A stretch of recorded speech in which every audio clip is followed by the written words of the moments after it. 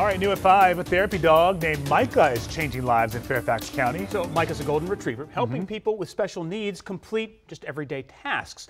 Micah works at the Key Center in Springfield. A lot of students at the school have unique abilities, and school leaders say Micah helps motivate them to do Oh. things they might not normally do. For one six year old girl, that includes simply taking a step.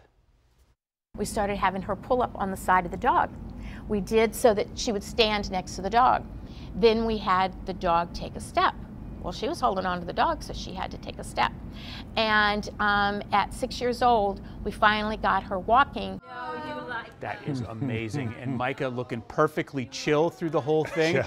To learn more about Micah and this program, we've got it up posted right now at WUSA 9. I bet Micah's getting so many treats. Oh yeah, got to get it. Just I'm just amazed at the demeanor, the calm Yeah. demeanor.